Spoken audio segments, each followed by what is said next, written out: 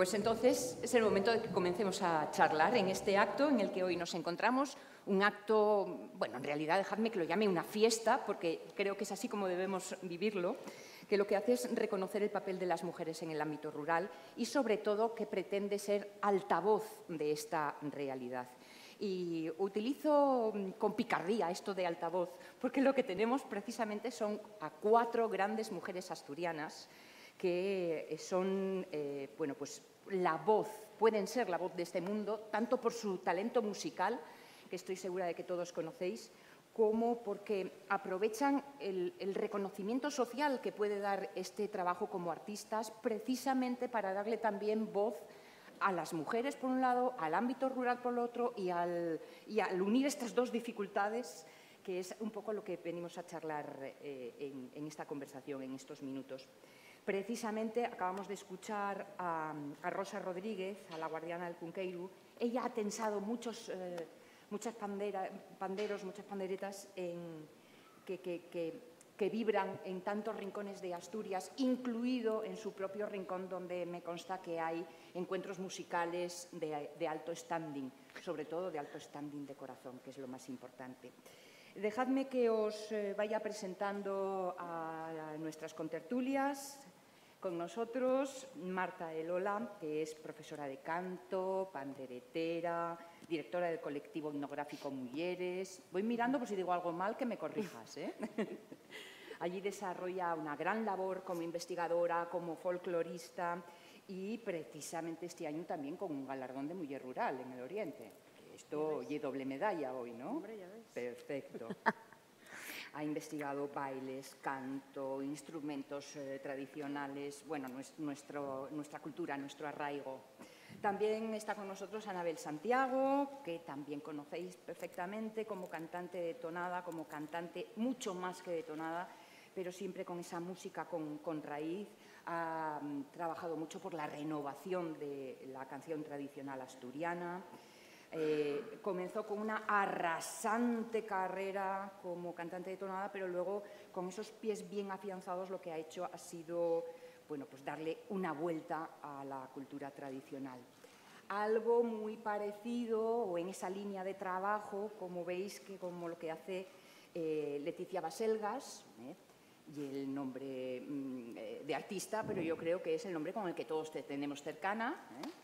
Leticia González, cantante y panderetera también de los grupos LR y Calea, también con investigación etnográfica a sus espaldas, de cultura tradicional, y a la pandereta lo que le ha hecho ha sido darle un, un, un valor per se. Ha dejado de ser esto que acompaña ahí un poco así en el escenario, casi que es ni cuenta, para ser un instrumento con voz propia y en donde se puede desarrollar una gran creatividad. Y Minalongo, en último lugar, pero solo porque eh, las cosas son así, tan, tan valioso como el primero, porque ellas son cuatro grandes mujeres, cantante, una larguísima carrera eh, artística y profesional a sus espaldas, a pesar de su juventud, y que además ha celebrado hace muy poquito, esta misma primavera, eh, con, con un gran conciertazo, y que para describir un poco un concierto con Minalongo, yo digo que ella empieza con un público y acaba con un grupo de amigos. Y esto no lo consigue todo el mundo, que es realmente algo muy importante. Ella interpreta estilos muy diferentes, todos muy exigentes en la interpretación vocal. Y es que tan pronto se arranca por un corrido mexicano como acaricia una canción popular de casa. Y eso es un gustazo. Bien, pues ahora que las conocéis bien, o, tenemos alguna referencia. Mm, una primera pregunta así muy general, por ir abriendo fuego, y luego ya nos iremos metiendo en vericuetos. Estamos hablando de música, estamos hablando de tradición, eh, por lo tanto, música, instrumentos, las historias que cuentan los temas musicales, que esto es otro elemento, las dos caras de esta gran moneda, que es la cultura en el ámbito rural. La cultura en grandes eh, eh, letras, porque no distinguimos de alta y baja cultura. A mí esto me parece una tontería a estas alturas de la vida. Cultura es todo conocimiento. Pero, bueno, metiéndonos un poco esto en el ámbito eh, artístico. ¿Cuál es el papel de la cultura en su ámbito artístico dentro del mundo rural? Es una pregunta tan genérica que os lo pongo muy difícil, me consta. Pero arrancáis por donde podáis. ¿Quién arranca? Bueno, pues yo voy a arrancar con, con una cita de unos teóricos franceses, de Deleuze y Guattari, que para introducir creo que nos va a ir bien porque ellos decían que el arte, podemos cambiar esa palabra arte por cultura, por tradición, por folclore, eh, non é un fin en sí mesmo, é un instrumento para trazar líneas de vida, líneas de creación.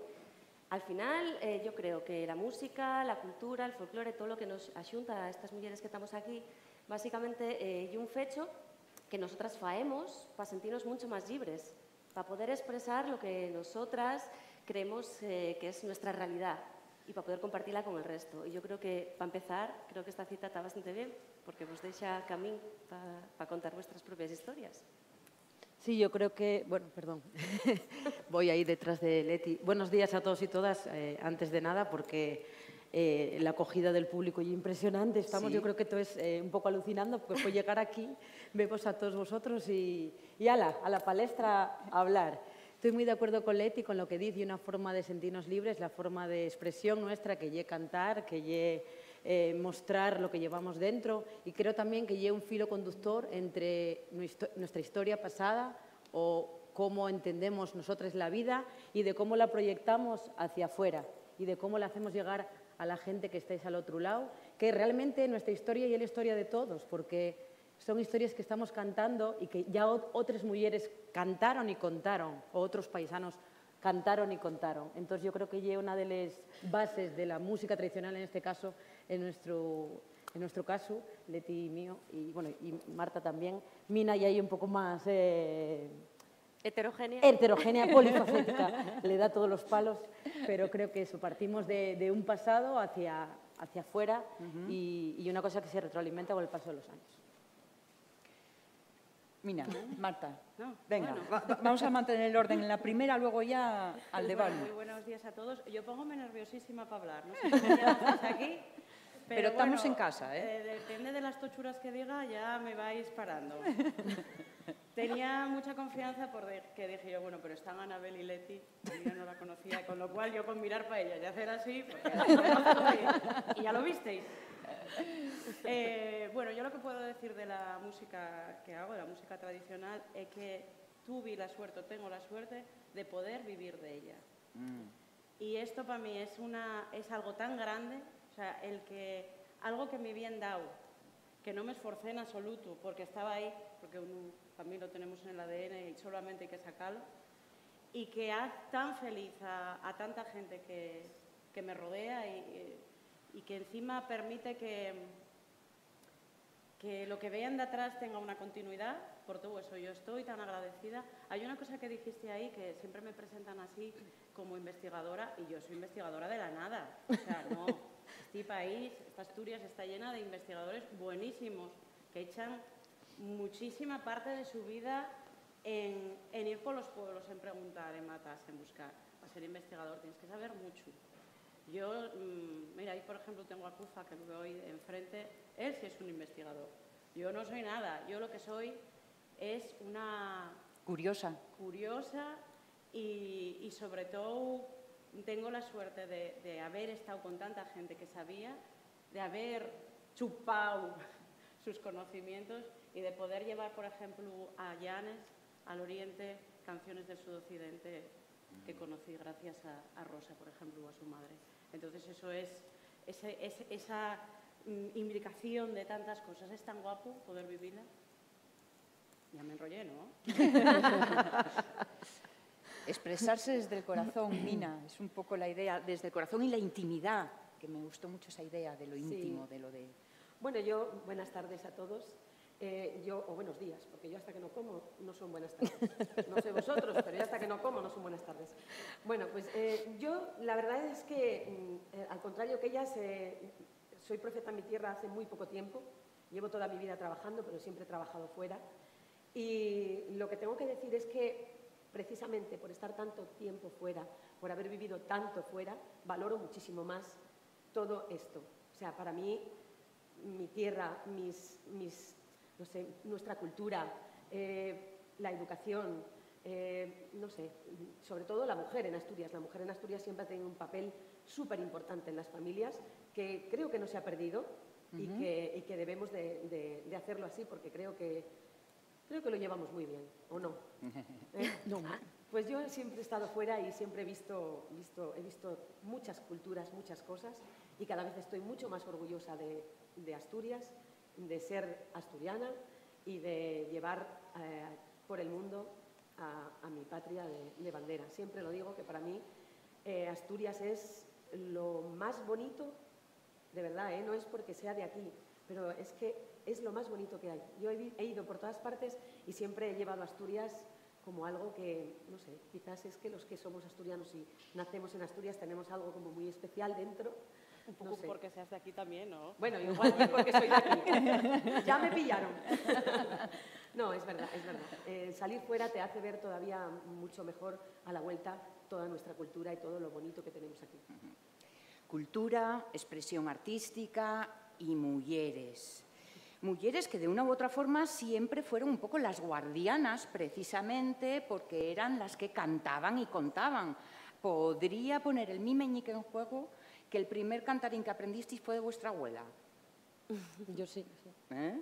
Claro. Realmente ha sido un papel, el de la transmisión, pero ¿qué pasa con la creación? ¿Nos toca repetir lo que otros han pensado o ya la mujer que se dedica a la tradición en Asturias tiene voz propia? Hombre, tenemos, tuvimos, tenemos y tendremos voz propia. Y creo que todas las que estáis ahí estaréis de acuerdo conmigo. Eh, ¿Qué pasaba con el tema de, de, la mujer y la música? ¿no? Pues, entre otras cosas que sabemos casi todas también, ya que la mujer y la música que llamamos tradicional a día de ahora, pues estaba muy arrequechada ese ámbito privado de la cocina a casa, de esa transmisión en voz seliquina, de madre a fiu, de abuela a nieto.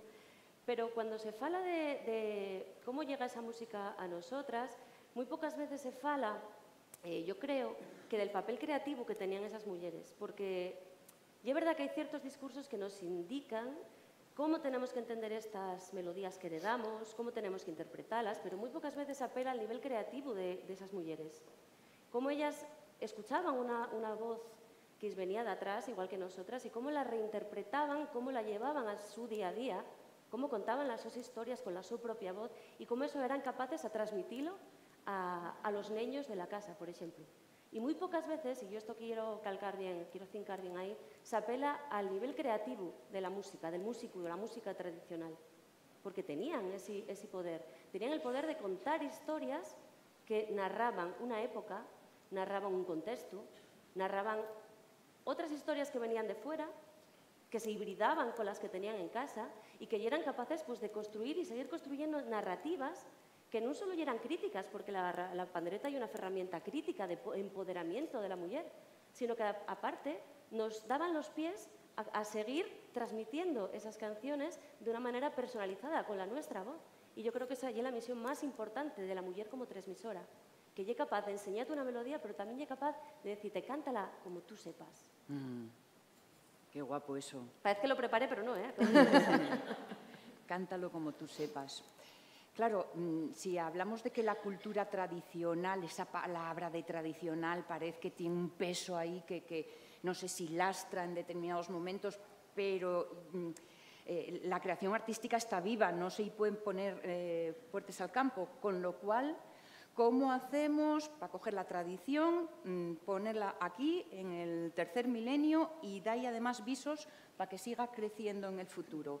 Este es un reto que vosotras mmm, habéis tenido que, asumir porque eh, os ha tocado generacionalmente hacer esto, ¿no? romper, eh, barreras.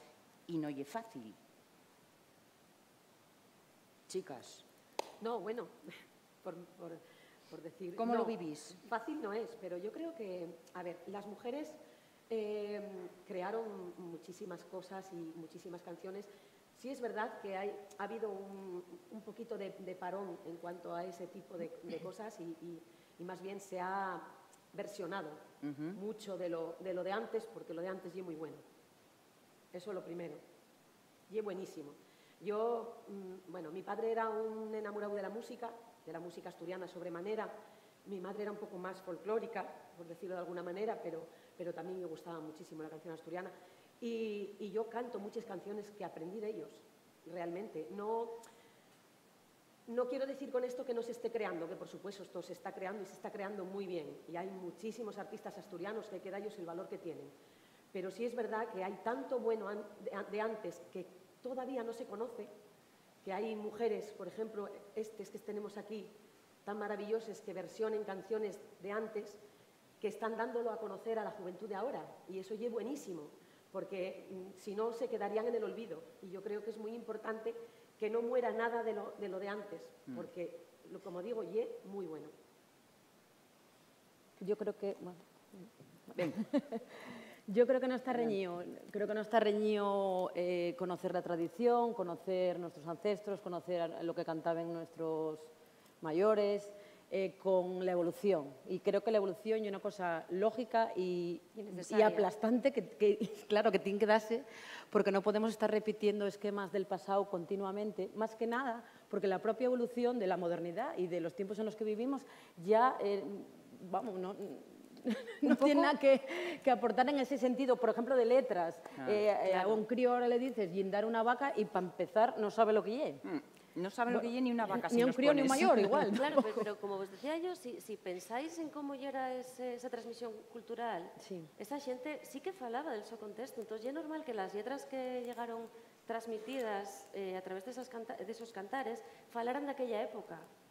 Entonces, yo entiendo que lo que heredamos, ese patrimonio musical, por lo menos en el caso de las que nos dedicamos a la música popular, vamos a llamarla así, pues heredamos los ritmos, heredamos las, las xotas, heredamos las muñeiras, pero yo creo que tenemos todos de acuerdo en que no tenemos por qué seguir cantando a cosas que ya no tienen sentido seguir cantando ahora. O sea, hay cuartetas dentro del ámbito de la lírica popular que, que tienen un fuerte eh, carácter marcado patriarcal. Entonces, yo creo que eso no deberíamos seguir que está muy bien, que non en razón a Anabel, non debería ter reñido. Una cosa é como conservamos ese patrimonio eso, eso dentro de determinadas instituciones o determinados cercamientos e outra cosa é que esa música la entendamos como algo vivo, sobre todo los que somos trabajadores culturales, que traballemos con ello, non é tanto versionándolo, sino eh, transgrediéndolo o reformulándolo de tal manera que podamos utilizar ese patrimonio que conocemos también gracias a, a la xente que investiga y que a la, vez podamos usarlo para nuestro día a día contando las nuestras historias, la nuestra vida, el nuestro contexto, que paso somos mujeres del siglo XXI. Exactamente. Me imagino que incluso en esa labor de, investigación encuentres los mismos cantares o las mismas letras mm, con distinto ritmo, con distinta presentación, porque también en ese tiempo pasado han ido evolucionando. Hombre, claro, sí. Eh, además es que sería una pena que no evolucionaran. Es que además va en contra de lo que es la música tradicional. La música tradicional está viva, mm. viva. O sea, y, además es una música de transmisión oral y como yo la siento, no va a ser lo mismo que la sienta el guaje mío cuando tenga la mía, porque si no, eh, que algo está fallando. Mm. Nosotros tenemos que entender, y además yo me mm, enfado muchísimo cuando dicen, esto no era así. bueno, no era así porque las señoras o señores o lo que sea que cantaban eh, ya llevan 3.300 años muertos, entonces sí, no era así. Mira, eh, el pueblo mío, que mm, además uno siempre piensa que lo que está viviendo es, es, es la realidad de ese momento. Eh, íbamos a ensayar para el ramo y siempre veníamos llorando, porque aquellas mulleronas nunca lo hacíamos bien, porque, ay, es que esto nunca se canta, esto todo lo estoy perdiendo, bueno. Y un día bajé yo para casa con un disgusto y dije, abuela, pero bueno, ¿qué te pasó? Y digo yo, nada, que, que, no lo hacemos bien. No sé qué hacemos, pero no lo hacemos bien. Oh. Porque antes decía, mira, cuando yo era como tú, ya bajábamos llorando, porque ya no lo hacíamos como antes. Y estoy segura que mi madre ya no lo hacía como antes. Así antes no existe. Hasta los traumas heredan, ¿Dónde está el antes? ¿Dónde hay que poner ese tope? El antes es ahora. Lo, importante es cómo nosotros lo vivimos ahora y cómo lo transmitimos a partir de ahora. Y no tenemos por qué juzgar lo que va a venir después ni lo que vino primero. Es que, es que eso es una tochura. Mm. Veo yo así. Sí. Eso es. ¿No? Aunque voy a plantearos una cosa, porque claro, eh, la evolución social mm, eh, ha, vivido una gran eh, aceleración. Entonces, en 100 años, el entorno que se cuenta, decía Leti, uno cuenta lo que ve, ¿no? pues no había cambiado tanto Pero ahora el entorno ha cambiado radicalmente. De hecho, tenemos el mundo en casa porque tenemoslo por internet. Mm. Eso a la fuerza tiene que cambiar las historias que se cuenten. Claro, ¿no? las lletres. necesidades de, de acercate a otras realidades. Claro, si no- ah, eh, falando así en términos máis grandilocuentes, e é verdad que agora, co- dende fai unhas décadas acá, estamos vivindo un mundo que está globalizado al 100%. Entonces, esa dicotomía con la que se entiende la música tradicional dentro de los discursos más populares, de tradición versus modernidad y demás, eso eh, pasó a la historia, nunca mejor dicho. Non tenemos ya esa dicotomía porque ya vivimos en un mundo que está modernizado. En un mundo en el que además, para falar de lo global, deberíamos falar de lo local, para falar de esa globalidad. Precisamente porque las nuestras especificidades como asturianos y asturianas que somos están ahí, están en las nuestras particularidades como asturianos, asturianas. La lengua, las culturas, eh, la cultura, las nuestras formas de entender. Entonces, non podemos falar de lo global se non falamos dende la nuestra especificidad, dende la nuestra lingua, dende las nuestras, sobre todo, maneras de entender y maneras de ser, que ya lo que nos vincula como pueblo, ya lo que nos vincula como asturianos a todos y a todas. Entonces, non se puede falar de lo global sin falar de lo local. Y sin embargo, siguiendo eso que tú dices, la música tradicional es tan grandísima que incluso hablando de lo más local de lo local se vuelve universal Exacto. en el momento en el que sale. Yo a mí me canta una paisana de, de la Bretaña de lo más recóndito y yo, que no sé bretón, entiendo lo que está diciendo. O Totalmente. sea, digo, esto, esto, yo lo conozco y suena, lo tengo ahí ya metido. Entonces, eh, eh, son historias muy pequeñas que se convierten en, en- historias universales, casi, en música universal. Qué guapo y eso. Qué guapo y eso. De alguna forma, como estamos hablando de, que- de que la música cuenta el mundo, vemos cómo un mundo cambia, cómo contamos cosas distintas. Y en cuanto a ritmos, y, y me vais a permitir que aquí, en- por un lado, Leticia y Mina, mm, ritmos como, por ejemplo, estáis haciendo en, eh, en vuestro trabajo musical, que unís, pues no sé, un blues mm, de América del Norte con una jota asturiana, coima y casan. Sí, a ver, yo esto siempre lo cuento porque LR, eh, que es el proyecto que tengo con, con Rubén Bada, naceu como casi todo lo que pasa en la música asturiana na cocina a casa. Entonces, Rubén, que siempre gusta decir que las músicas tradicionales van a siempre al compás de los ritmos vitales de cada pueblo y que en el fondo, como decía Marta, no separa tanto el ritmo vital de un pastor en el Kilimanjaro que un pastor ahí en, en el Cuera, Pues decíame, él que siempre tiene una guitarra na mano e estábamos falando precisamente de músicas populares, díxome, mira, estoy tocando un blues del Delta, prueba a tocar una muñeira por riba. y efectivamente, tocamos, tocó una muñeira y de repente, coime, pues esto... furrula precisamente porque las músicas nos vinculan como pueblos, hermanos todos, no nos separan. Y en cuanto a la innovación, el tema de mm, cómo eh, involucrar nuevas canciones, en realidad lo que yo faigo, lo que faemos nosotros, non ya distinto a lo que fai un músico en, a primeros del siglo XX. Quiero decir, ellos, esa xente que tocaba a primeros del siglo, de repente llegaban unas melodías tocadas por la acordeón y decían, coime, mira qué melodía más guapa, voy a meterla yo en mi repertorio de gaita. ¿Y qué? ¿Cuál era el problema? Ninguno, ¿no? Ahora parece, eh, menos mal que en otros sitios del mundo ya lo tienen superado, que si de repente quieres mezclar o, o quieres abrir un poco el, eh, el campo de acción o simplemente la actitud que tengas para con una música que sí que tiene mucho regaño y mucho peso, parece que, que todavía no se acaba de entender cuando realmente yo, yo creo que ya es la esencia de lo tradicional. La hibridación, el poder mezclar, el poder estar abierto a otras, a otras ideas, otras influencias. Yo no lo veo problemático. Y más, parece un motor de, de, de trabajo, una herramienta, como os decía, para trazar la línea donde poder liberarme, ¿no? Sí. Y yo creo que Anabel en ese sentido está conmigo. Sí, y de, y quitarnos de, y de quitarnos de prejuicios también, porque parece que lo nuestro tiene que ser nuestro y no se puede tocar y una cosa que, por favor, nadie toque. Y tiene que ser todo lo contrario. Creo que tenemos que empaparnos de otras culturas, empaparnos de otros géneros, eh, trabajar con otros estilos, experimentar con otros músicos, con otra gente. Eh, creo que es fundamental para que podamos después llegar, pero no solamente en el terreno musical, creo que en todos los terrenos en Total. Asturias. Sí. Y no nos lo acabamos de creer, que esto es y algo que siempre recalco muchísimo, Exacto. que que no nos acabamos de creer el talento que hay en todos los sentidos en Asturias. Mucho. Y somos muy cainitas.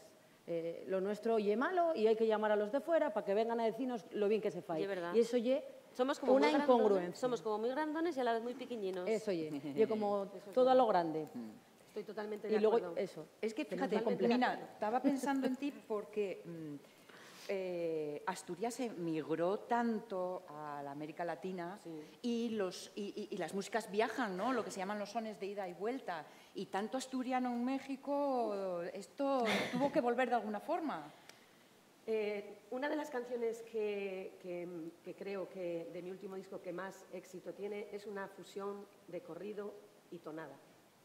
Ahí lo tenemos. Y si algo une, yo creo que todos estamos de acuerdo en una cosa, si algo une muchísimo al mundo es la música, sin ninguna duda. A cualquier sitio donde vayas, bueno, yo he llorado con canciones que no entendía la letra, solo por el sentimiento que transmite o cosas así, ¿no? Entonces, mm, a ver, Latinoamérica está claro que hay muchísimo, muchísimo asturiano por todas partes, y, pero bueno, muchísimo español en general. Y, y sí es verdad que allí la música, sea, fusionas música, pero en todos, en todos los, los ámbitos de la música, fusionar una cosa con otra. A mí me parece maravilloso poder utilizar todo lo que tenemos para hacer música, cualquier cosa. Y luego, entonces, ¿por qué ponémonos tan repugnantes para hacer llorar a los que están empezando? Ah, uh, es que soy un tema muy complicado. Sí, y el Porque purismo, eso el lo que decía Leti, porque para otras cosas son muy, muy grandones. Claro. Y lo nuestro es así y esto. Bueno, y además no sabéis cómo funcionan los pueblos. Tú haces una cosa y al año siguiente se vuelve a hacer y al tercer año ya de toda la vida. de toda la vida. Entonces, bueno, Es verdad. es verdad. Y es verdad, y es verdad. Eso me encanta. y esto de Madonna me está poniendo frenética, ¿eh? Que me cae. Ser mujer en todo esto que estamos eh, hablando es un añadido, como un peso añadido. Hombre, ¿Alguien del público lo duda? ¡Qué bien lo sabes! Sí, sí, por supuesto. O sea, seguimos eh, en una sociedad muy patriarcal en el que uno de los grandes problemas que veo yo eh, para con la mujer eh, yo precisamente que no somos todavía 100% capaces de conquistar los espacios públicos, de poder tener voz en las esferas públicas, de poder tener la relevancia que nos merecemos. Y esto decían también los teóricos franceses, decían que la mujer es performática, o sea, la mujer tiene que estar ahí pico pala, pico pala, y todavía va a tener que justificar todo lo que faiga y si triunfa van a ponerlo en duda. Un paisano ya performativo, un paisano blanco y, y blanco, nadie lo va a poner en duda. Y eso todavía y un hándicap que nos fae tener techos de cristal, nos fae tener pues muchísimas trabas. Ya es verdad que se cultiva ¿eh? lo de la esfera pública, ya es verdad que a día de hoy, menos mal, hay gente que todavía tiene el- la, la- el- la potencia o el poder de poder decir, cuidado, somos mujeres, pero tenemos voz y somos performativas, ¿por qué no? Y esta ya es la mi historia y la voy a contar yo a partir de ahora, no otros. Sí, pero Y- también aquí eh, cuando haces el discurso este y cuando te lo cuentan de, de la tradición, siempre la mujer que conservaba, la mujer que transmitía, la mujer que sí. tal. Sí, la mujer que conservaba, transmitía, hacía lo que daba la gana, pero en casa. Exacto. Quiero decir, porque claro, eh, ah, mm, no sé cómo será en casa vuestra, pero en casa mía mi padre no cocinó en la vida. Los grandes cocineros, los chefs. Sí, sí. Y habrá alguna, la prove, que la ponen ahí un poco por ponerla. No, no, en mi Que casa- la, la- en mi casa tampoco. ya coser, no sé en casa vuestra Sí, cómo sí. sería, pero mi, es que en casa mía, mi abuelo y mi padre, que viví con los dos, no los vi coser en la vida. En mi, casa, modistos, en, mi, en mi casa, mi madre, por ejemplo, sí, o sea, era la que hacía todas las cosas de casa. Evidentemente, mi padre el que trabajaba fuera, mi madre en casa. Pero sí te voy a decir una cosa. Mi padre jamás en la vida cocinó ni, ni, ni cosió. Pero le preguntabas algo y era lo que diga tu madre. Ya, pero es que esto En mi es casa, ¿eh? mucho Digo. La tradición, la mujer, o no sé qué, sí. Pero después, si hay un profesional, era un paisano. Exacto. O sea, Pero mucho lo tocar los domingos a la salida de misa o, o- o lo que ellos dieran la, la gana, pero cuando había una fiesta, ¿a quién se contrataba? A dos paisanos. Claro, mira, el otro Uno día- la gaita y otro el tambor. Voy a deciros una cosa. A ver. Igual vosotros, ¿qué me estás contando? Eh, haz nada, fui a tocar a Bulnes. Monté en el funicular por la mañana, fui para allá con todos los... Eso, vestíme, pum, muy guapa, y fui a tocar con un gaitero y un tamboritero. Bien. Fuimos los tres para allá, trataronnos maravillosamente, adoro Bulnes, y a la hora de darnos las perras, después de estar el día entero allí, eh, pagar años a los gaiteros, miró el paisano para mí y dijo, bueno, esta mujer habrá que darle algo. Ay, madre. Esto pasó hará un mes y medio. Y esa es la realidad. Sí, sí, es la Entonces realidad. yo quiero ponerme aquí muy empoderada, pandereta en mano y a dar y sus pero luego, cuando sales ahí, tú sigues siendo una mujer y los que Por- llevan el sobre son ellos. Por falar de... Por falar de, de datos... Por falar de, de datos, porcentaxes de estudios eh, que se faen, eh, dentro del ámbito musical a nivel estatal, a nivel de España, un, solo hay un 17% de mujeres músicas Eh. profesionales dentro de, de todo el ámbito cultural. Entonces yo creo que la anécdota que cuenta Marta ye sangrante y la realidad de las que tocamos la pandereta aquí desde siempre, o sea, y así, pero que sepáis que esto no solo pasa aquí. Mm. Quiero decir, hay un, un problema eh, en- endémico, o sea, hay un problema que sobrepasa nuestras fronteras y, yo creo que, bueno, que deberíamos liberarnos de esas ataduras, ¿no? Deberíamos eh, poder eh, ejercer la nuestra profesión como trabajadoras culturales y que se nos reconociera o reconocernoslo también a nosotras mismas, ¿eh? que muchas veces el tema de la autoimposición, decir, no, no, yo soy música tradicional, soy panderetera y no soy música, eso pasa también, ¿eh? Eso también pasa. Uno se cree lo que oye, es inevitable. Los discursos son fuertes. Es casi la una de la tarde y no sé cómo vamos de tiempo, pero no quiero que nos quede esta sensación un poco así derrotista, ni mucho menos, ¿no? Entonces, estaba pensando, vale, pero si ahora pensamos en quienes están siendo punta de lanza en esto de eh, tradición y ruptura de esquemas, me sale un nombre inmediato, Tachungueiras. Coño, son las mujeres. ¿Sí? O, o paredme a mí porque mm, lo miro con ma- más ojos. Hombre, yo creo que están cambiando las cosas poco a poco, Les mujeres más que pero ellos. algo están cambiando. Yo creo que ahora nosotras tenemos también nuestro momento y poco a poco, pues no, pienso que se están dando cuenta de que, de que no, no hay por qué, porque seas mujer. Yo recuerdo a mi madre, mi madre nunca se pudo dedicar a la música porque estaba mal visto dedicarse a la música como, como mujer. Su abuelo, su- mi, mi abuelo, que era su padre, decía... Y tu "No, madre no, no". además vivía en, en- un pueblo. Bueno. Quiero decir, en el ámbito rural más aún. Mi madre vivía Esa en un mala- pueblo, esa visión. Pero, pero a muy temprana edad se fue a trabajar a Oviedo y, y la verdad es que ella quiso dedicarse a la música, se presentó a algún concurso, demás, pero mi abuelo le, le prohibió dedicarse a la música directamente, estaba muy mal visto, que una mujer tenía, pues no sé, digamos como que era un poquito Mm. ligerilla solo por el hecho de que se quisiera dedicar a la música, ¿no? Y que para él, pues, estar en boca de alguien no, no era... y, o sea, te das cuenta que dices, Dios mío. Entonces mi madre, sí que es verdad que ahí, por eso digo que las cosas, gracias a Dios, cambian. Sí. Mi madre siempre dijo, lo que a mí me quitaron, jamás se lo quitaré a mi hija. Y yo me dedico a la música mucho, mucho gracias a mi madre, porque luchó mucho porque yo pudiera dedicarme a la música. Somos diez hermanos y no era fácil. No era fácil porque mi madre tenía mucho detrás. Y, y la verdad es que me dedico a la música gracias a ella, sin duda. Y ella es una mujer, vamos, de, de ley. Y es que yo tengo la sensación de que les Yo, que- yo quería, mujeres- yo quería contar algo en este sentido. por supuesto. Que lleve muy, muy relacionado con lo que dices de ese fenómeno de las pandereteras que están conquistando el mundo.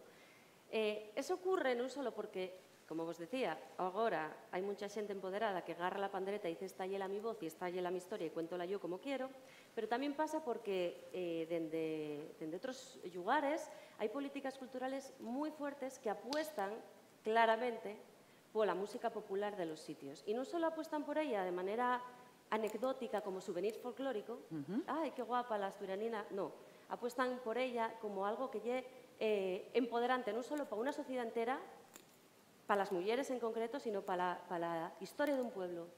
Porque así suenan, a- suenan lo- los, los pueblos. Galicia suena a las pandereteiras galegas. Entonces, la Xunta y el lista, y aquí voy a poner yo eh, toda la carne en el asador y voy a hacer de esto un fenómeno global. Y está consiguiéndolo. Casi van a Eurovisión. Porque yo creo que tenemos que apostar por eso. Mm. Tenemos que apostar por la particularidad. Y si algo tenemos de particular en Asturias, por ejemplo, pienso yo, y esas pandereteras, esa forma de contar que tenemos que ya única. Mm. Bueno, que no fueran pandereteras. Bueno, música. músicas, las músicas en general. Porque estamos hablando de tanchungueiras, pero y que yo soy panderetera, claro. claro, pero yo pienso que la punta de lanza podíamos haber sido cualquiera de las que llevamos cantando, que llevamos tirando. Podía haber sido mi abuela, podía haber sido la tuya, podía haber sido cualquier mujer guerrera y defensora de nuestra tradición. La suerte de las tanchugueiras fue que llegaron al momento adecuado, apostaron por ellos los adecuados y estaban en el punto donde tenían que estar. Pero podían ser perfectamente pandereteras asturianas. Sí, es que también para llegar a donde sea también tienes que tener recursos. Claro. Quiero decir, es que es muy guapo vivir en un pueblo que guapo es, ¿eh? y, y, hasta que estás en el pueblo. Quiero decir, y te encuentras con que eh, no hay internet. de cultura no hay micrófonos porque nadie los, nunca los hubo el ordenador no va porque siempre somos el casi. Nosotros, eh, bueno, yo hablo de lo que conozco yo, que ella, que somos el vértice del vértice del oriente oriental, quiero decir, entonces está siempre, es el casi. Meca, casi hay conexión, pero... pero no llego. Casi compramos hace cinco años un ordenador que sonara, pero no suena. Casi, casi tenemos una ola, pero meca, no se puede abrir porque casi teníamos llaves, pero no aparecen las llaves. Entonces, claro, es difícil. Entonces, o, vas tú solo, pero manda, o cómo montas un grupo. pero manda narices, que aquí somos la, somos, la, sociedad del casi, pero, joder, salimos, perdón por el taco, salimos fuera a tocar, que Rubén y yo salimos mucho fuera. Este año tuvimos 10 días en Irlanda y la gente de fuera, la gente del arco atlántico o de otros países, parece que tiene más interés y conoce más la música asturiana que los propios asturianos. A mí me pasó. Llamónos el Arts Council para hacer un intercambio porque hai mucha xente, por exemplo, en Irlanda, que está moi interesada en los ritmos tradicionales de la música asturiana, en que hai unha xota, en que hai unha muñera, como lo interpretamos, ¿Por qué aquí no tenemos ese interés? ¿Por qué aquí tú vas por la calle y preguntas a cualquiera y no sabe casi nada de música asturiana? ¿Qué, qué, qué nos pasa? Es verdad. ¿Cuál es el problema? ¿Qué preferimos? ¿Apostar a cosas grandilocuentes, cosas que no tienen nada que ver con nosotros? ¿Preferimos apostar a lo global? Pues no, deberíamos apostar a lo local. local. Porque en otros sitios ya están picando a la puerta para pedirnos que les enseñemos. Y eso es acollonante, perdón por la expresión. Porque te das cuenta del poderío de la música asturiana. Es verdad. Hacerte un hueco en la música es más difícil si tu vida diaria está en un entorno rural. Sí. Por lo que decía Marta, por, la, infraestructura. Sí, yo mm. creo que por falta de medios de comunicación. Sí, porque yo viví en el centro muchos años, viví en Oviedo muchísimos años eh, en Oviedo, más me fáciles. Oviedo y aposté por estar en el pueblo porque, porque me gusta mi pueblo y como os decía antes me siento una privilegiada de poder vivir de lo que me gusta en el pueblo, aunque nunca me haga rica, nunca pueda tener vacaciones porque tengo que andar cantando pericotes y nunca nada de nada, pero, pero me gusta vivir ahí, pero a, pero es muchísimo más difícil dónde vas a parar. Sí, totalmente. Eh, digo Oviedo porque lo que conozco y es que lo tienes todo a la mano. Aquí para cualquier cosa, yo voy a presentaros luego una pandereta que tengo de rosa. Mm. ¿Quién me hizo a mí la pandereta rosa en el sudoccidente? Claro, claro. ¿A cuántos kilómetros lo tengo yo? Encima siempre que la voy a ver, cuando estoy llegando a León, digo, ya me pasé. Y hago más kilómetros de la... y subo el puerto y bajo otra vez. Eh, siempre me pasa. Pero bueno, eh, ya puestos en marcha para cualquier cosa, es un kilometraje, para cualquier cosa. Mm. Yo decidí vivir allí y, además es que a mí me gusta que me, más que como cantante, gusta mi verme como maestra porque en realidad parece que en, un, que en un espacio como el nuestro, donde el 90, bueno, yo digo el 90, voy a poner 70 por no quedar tan mal, de la gente es mayor de 70 años, que son más el porcentaje. O sea, vivimos en un geriátrico donde la gente y cuesta muchísimo acercarse a la cultura, muchísimo, porque si para mí que me considero joven, pero estoy a la flor de la vida, eh, y tengo coche, me puedo mover y me estudiaron y hice todo. Ya me resulta difícil y tedioso. Imagínate para un, un, paisano que vive en Telleu. O sea, es que no llega nunca nada, solo lo que ve por la tele. Por mm. eso conocemos tan poco del asturiano, porque solo nos llega lo que nos llega por la tele. Y lo que nos llega por la tele normalmente es de mm, Wisconsin. Eh, que no está mal, ¿eh? Tampoco, cuidado. Lo que pasa es que, claro, no se trata de elegir, sino estamos de hablando de crear en sitios que yo, por ejemplo, vivo en una aldea que somos seis habitantes y, claro, no tenemos casi ni cobertura del teléfono. Entonces, claro, el sí, casi, a nivel el de casi. tocar... El casi. El casi, el casi. El tema de topar las musas, pues sí, oye, no ya lo mismo crear en un ambiente rural, en lo natural, en poder construir tú los tus espacios, que estar creando en una urbe. Hombre, más Que- tranquilo estás, eso seguro. Más, res- más recursos seguro que tienes. Sí. En Baselgas ya te digo yo que nada. Pues yo vivo en Belmonte de Pría, Llanes, Asturias, y necesito es- dos compañías para que me llegue no sé qué vatios aquello. O sea, nada. Si está el guajemi haciendo el el ordenador y el otro, bueno, menos mal que con el ordenador compongo poco, hay que decirlo también. Pero quiero decir que, que, a ver, Oye, hablabais, estábamos hablando antes un poco de, de- del papel que las mujeres eh, han tenido en esto de, de la creación, el arte, la cultura y tal, pero luego resulta que, mm, mm, que, si no me equivoco, todos estáis clase, ¿no? Yo sí. Bueno, yo de otras cosas, no de- Mina- Bueno, yo estuve una época dando, pero ahora mismo no. Bueno, pero a lo, a lo que iba, mm, me consta, por ejemplo, Anabel, empezaste ahora en los centros sociales de Oviedo, ampliando lo que ya hacías en la escuela tradicional, y bueno, todos tenéis tal. A que hay muchas más mujeres que se apunten que hombres. Muchísimas. Yo ahora mismo tengo, eh, vamos, diría un 80% Aburriéronse, de matriculaciones. Te ayudo, presidente y compañía, ¿eh? Sabemos que tienen más trabajo. Tienen más trabajo.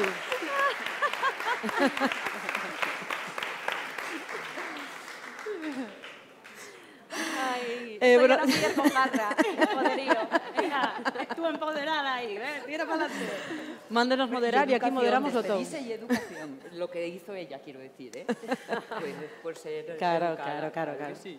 Eh, bueno, estaba comentándote que eso, que el 80% de la matriculación de, de, de escolines, de xente que ven a, a deprender tonada ou canto tradicional ou en este caso en los centros sociales que están aprendiendo a hacer un coriquín tradicional, que hay algo muy nuestro y toda la vida se fizo, pues la mayoría son mujeres. Y esto quiere decir que hay una sed cultural por parte de la mujer impresionante. Y ya te digo, no solo por, porque estamos aquí to mujeres, sino porque les que vienen detrás Sí. son to y, y muchas de ellas son muy jóvenes. Y eso es algo que a mí me parece muy llamativo. Que tengo niñas de, de siete años, de ocho años, que, lo, que canten, que lo quemen. O sea, eh, y estoy muy preocupada y mira, lamento mucho que se haya ido Barbón ahora mismo, porque esas niñas del futuro no tienen dónde cantar. Exacto. No hay un circuito cultural, musical, asturiano. eh, de peso, donde no nosotros, sino los que vienen puedan cantar, Claro.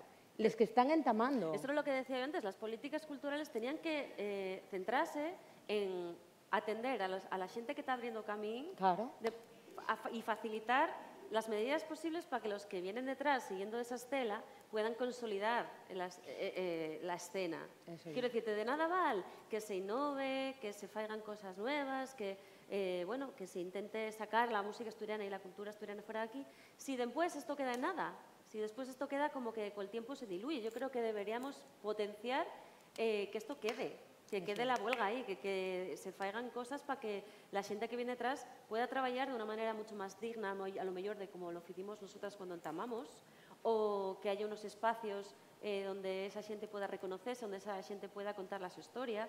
O sea, son cosas que deberían ser básicas, pero que todavía no estamos viendo.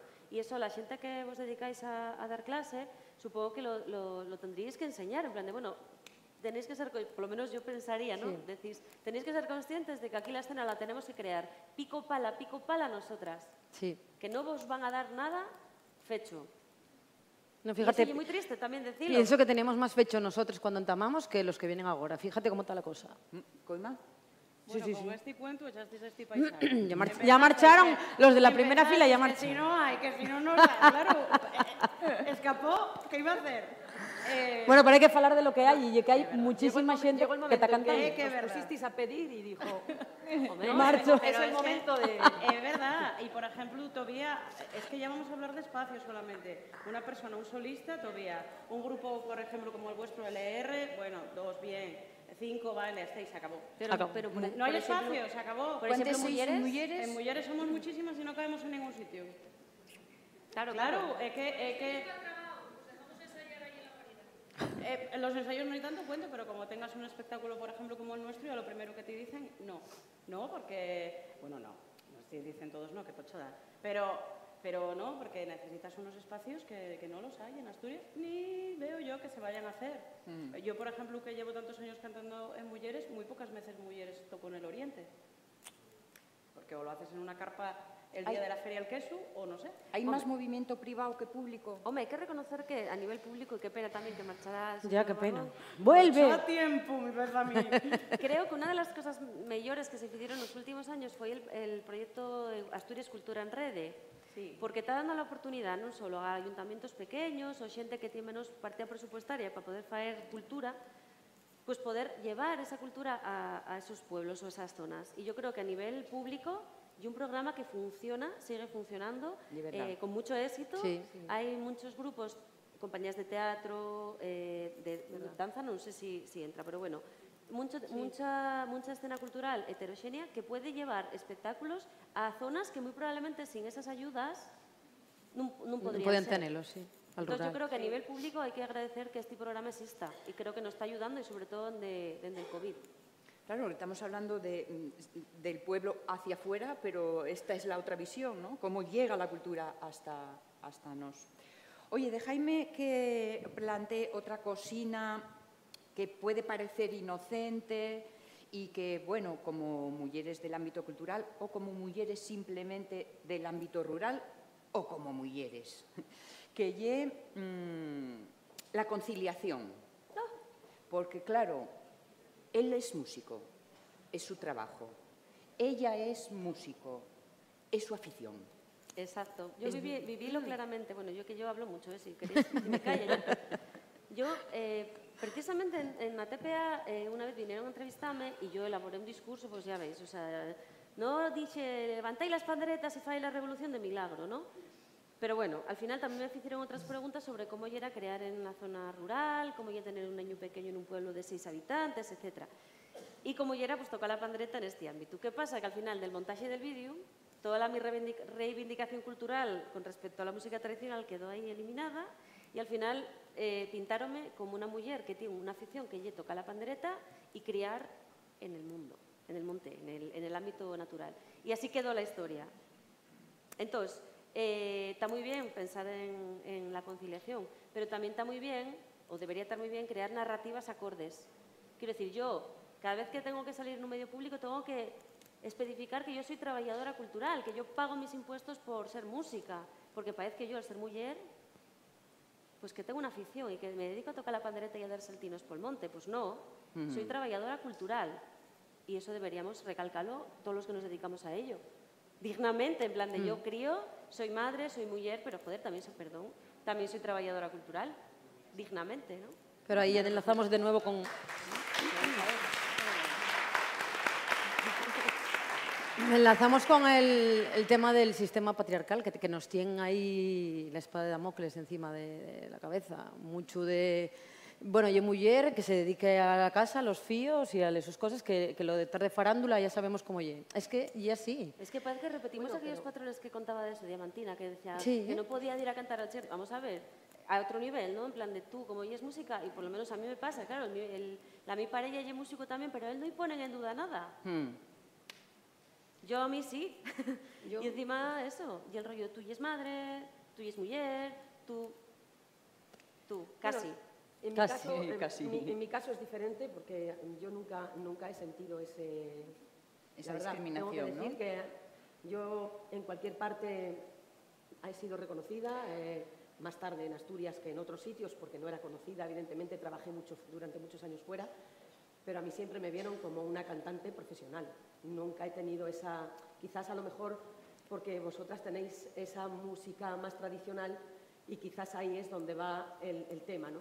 En mi caso no es, no es el, mi caso no es el mismo, pero bueno, también tengo que decir que la mujer tiene que demostrar más, la mujer tiene que, ¿sabes? Eso sí que es cierto, porque, pero también es verdad otra cosa que nos estamos olvidando, quizás, y que es que mm, hablábamos de que la mujer es ama de casa y el, y el- y el- y el- hombre trabajaba fuera de casa y las que educaban eran las mujeres, ¿no?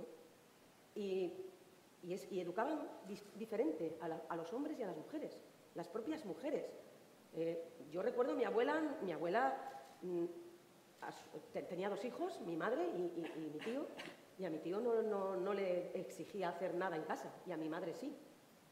O sea, le- ahora las cosas están cambiando. Ahora educan las mujeres y educan los hombres. La mujer trabaja mucho más fuera de casa, la mujer está fuera de casa, ya educan los dos, ya hacen los dos, ya están cambiando bastante en ese aspecto las cosas.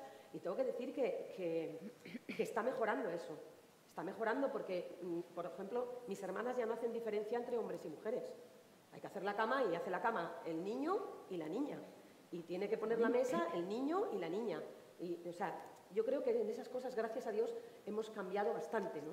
Pero ya las mujeres no educan diferente eh, por ser sexo distinto, ni... pero sí es verdad que todavía nos queda mucho camino, evidentemente, que hacer, pero gracias a Dios yo no he sentido ese, Ese peso, ese- ese peso de mm, tienes que no siempre me he sentido una mujer muy valorada en todos los lugares en todos los sitios donde he ido y, y me he sentido siempre mm, mujer por supuesto y yo voy con mi carácter con mi peso con mi valía y yo digo yo hago esto yo soy así yo soy válida o no válida para ti o para ti pero yo soy esto si te gusta bien y si no también cada uno tiene lo que tiene y yo me he sentido siempre muy valorada y muy querida, eso lo tengo que decir. Y, y bueno, sobre todo por vosotros. ¿Sabes qué creo yo también? Que como tenemos tan metido dentro el discurso ese de la madre nutricia, la, la que tiene que, o sea, la que cuida, la que cuida, la que mm, eh, tiene que estar en casa, la que siempre tapa todo, que si el crío está malo. Muchas veces eso que hablabais antes, de la conciliación, también nosotras mismas nos lo ponemos muy difícil, porque yo sí. Eh, casi puedo apostar que muchas veces que uno se va de casa, el paisano no piensa, madre, ¿cómo quedará este crío? Eh, No porque no lo quiera, sino porque eso es como tradicionalmente, Sí. porque lo tenemos ya sin que nos lo hayan inculcado. Es que parece que nace contigo eso, porque vivimos en esta sociedad donde nos envuelve eso. Entonces yo, por ejemplo, tengo otra anécdota. Fui a tocar a un pueblo, eh, dejé al crío mientras yo estaba tocando con unas conocidas, porque el crío mm, estaba conmigo solo. Eh, mm, digo, "Ay, madre, ¿con quién dejo a este inocente? Bueno, déjalo yo con unas, eh, cansaron a que... Bueno, el caso es que cuando fui a saber de me dije, ¿dónde está el crío? Me dicen, pues estaba aquí. Pues estaba aquí que lo encontré durmiendo en un bafle metido en un ba- o sea, con la música, mu, mu, y él allí. Y claro, el pobre crío que tendría como entre 3 y 4 años, cuando ves eso dices tú, pero ¿cómo, ¿cómo puede ser tan malísima madre que estoy aquí, este crío, y yo encima tocando? Si encima tuviera un trabajo de esos como Dios manda, de que te Ah. levantas y te dan eso y, y todas esas retribuciones. Y, Tenemos un trabajo como y Dios claro, manda. sí, claro que lo tenemos, Maravilloso. pero que muchas veces somos nosotras mismas las que decimos, madre, yo ahora marcho, ¿con quién Sí. dejo este? No sé si esto se ve igual en los padres, no- nunca fui padre. Hombre, Mm. pero, pero en mi caso... Algo mi te caso, contaron. No sé. La, la narrativa, el cuento que, que se suele contar de la, eh, de la mi figura y eh, al revés, porque el que se quedó en casa eh, fue Rubén criando y la que me fui a trabajar fui yo. Entonces, ya más sangrante todavía la, eso. la anécdota. Porque dices tú, bueno, en mi casa el que cría y el, el paisano, no y la mujer. Yo también crío, obviamente, pero bueno, Sí. la que me fui a currar fuera fui yo. Hay y él mucho fue el ahora. que se quedó. Ahora hay Sí, sí, muchísimo, mucho eso, muchísimas pero sin embargo, creemos. Sí, pero sin embargo el discurso oficial sigue empeñándose en ponerme a mí como criadora. Mm. Ya. Claro. ¿Por Ya, qué? Porque eso- soy mujer. Eso es lo que hay que poco a poco. ¿eh? Claro, o sea, hay que, hay que todo, los- lo que va para bien y lo que va para, bueno, otro, pa' otro territorio. Para terminar, una última cuestión. Que, a ver, cuidado, ¿eh? que lleva para media hora, pero no, lleva diez minutinos. Una última cuestión. La cultura y la mujer son dos fuerzas que además en este caso estamos uniendo, que pueden fijar población en el ámbito rural. Cultura y mujer fijan población, no especialmente. Yo creo que tenemos a Rosa ahí para que lo responda, su propia figura responda a esa, a esa pregunta. Yo pienso que no es tanto a lo mejor focalizarlo en la imagen de la mujer nada más, sino focalizarlo en crear como nuevos núcleos de, de acción, quiero decir, crear como otra vez como microcomunidades, volver otra vez a, a la idea de que somos un, un pueblo grande, de que entre todos podemos hacer cosas mejores. O sea, yo creo que la población se fija cuando hay una oferta eh, cultural, cuando hay una, una pues un ámbito en el que tú puedes eh, trabajar o puedes ganarte eh, la forma de vida dignamente en una zona rural. También se crea cuando hay un, un, un nexo de, pues de una red de contactos, unha red de crianza, unha red de, de xente que vive en un lugar e que comparte unhas ideas, unos valores, non sei. Yo pienso que fijar población non é solo focalizalo en que haya alguén creando en un pueblo, sino que hai que crear un contexto, red, sí. un, un, no sé si me explico, me tenéis Sí, sí, una sí, red, sí. Y así, yo pienso que de nada val que nosotros al mellor temos en Baselgas, que sí que é verdad, que intentamos faer eh, traballo cultural allí, si de repente quedamos solos, eh, Rubén y yo. Yo creo que el truco o el kit de la cuestión es apostar porque se creen comunidades del sentir. Unión. Unión, Unión. vínculo. Yo creo que lo más importante es la unión. Mientras estemos unidos y veamos los problemas y los acatemos y los, y los resolvamos juntos, yo creo que es lo mejor que podemos hacer. Y que dejemos de ser tan individualistas. Exactamente. Que estamos en el egoísmo, el individualismo, siempre. barrer para casa y no nos damos cuenta que si no sumamos, no nos juntamos entre nosotros y no, no nos sumamos. aportamos, Eso no es. va a sumar nunca. Eso es. Pero claro, necesitamos ayuda. Apoyo. Exactamente, los necesitamos medios. que, que se atienda a las necesidades de la gente de los pueblos, porque sí, sí, muy guapo, muy rural, pero yo todavía tuve con la mi prima el otro día. La mi prima ya ganadera y la mi prima tiene una, una vida dura. Claro. Entonces, que menos que atender a las necesidades reales de la gente de los pueblos. Buenas comunicaciones, eh, tanto por vía terrestre, por decir de alguna manera, buenas carreteras, buenas comunicaciones eh, por Internet, tener cobertura en el móvil. O sea, poder desarrollar una vida digna en un pueblo, sin más. Sin Y más. yo creo que simplemente atendiendo a eso se eh, establecería mucho más población, fijaríamos mucho más población, porque la gente podría ir allí a seguir con una vida. No te vas a la mitad de nada y y te vas ahí a la mitad de- del monte y no tienes ni cobertura. ¿Cómo Claro, y lo bonito que es vivir en un pueblo, porque Sí, es muy sí. bonito. Sí, lo único que necesitamos es eso, un poquito más de conexión en, general, vamos. Yo sí creo que el despoblamiento de los pueblos tuvo que ver con la mujer. Por lo menos eh, yo hablo desde lo que conozco. En el- mi pueblo, cuando yo era pequeña, pues las mujeres se casaban con gente que tenía vacas, ¿no? Y quedaban allí y Claro. entonces, bueno, pues estaba como muy compensada la población Pero en el momento en el que, por ejemplo, bueno, en este caso, cuando entramos en la Comunidad Económica Europea y, y se establecieron otro tipo de, de, bueno, de ganaderías, ¿no? y la mujer de repente quedó como fuera, pero entonces es el momento donde la mujer marcha a, tra- a trabajar fuera o a estudiar fuera. Pues, eh, ¿Quién queda en el pueblo? Los paisanos, que quedaron como en el baile de los solteros. En el muy pueblo se ve mucho. Pues, que están así en la barra del bar. y las que fueron a estudiar y luego vinieron, que son las que trabajan Claro. y demás, quedaron como, co- ¿cómo te diría yo? Como en otro nivel, ¿no? Y Pues- ya no miran, no es que no miren para el pueblo, es que están en otro nivel ver- verdaderamente. Pero sí creo que lo que tú decías de fijar no tiene tanto que ver con el género como con lo que vosotros habláis, Claro, sino con la a ver. posibilidad de poder dignamente vivir en un pueblo, un pueblo, sí, dignamente. Sí, sí, pero en Baselgas se fue al revés. Y yo pienso que la despoblación vino por, la, por, la- por el progreso, precisamente por la dicotomía esa de tradición-modernidad. Claro. Cuando aparece Sidesa y todos los paisanos de, paisanos de aquella chavales de ese pueblo deciden ir a trabajar a la siderurgia, que era el futuro y el motor de, de, este, de este pequeño país, pues allí en Baselgas, que no había carretera, los paisanos consiguieron todos trabajo en Sidesa, cerraron las puertas de las dos casas y dijeron, nunca más vamos a volver.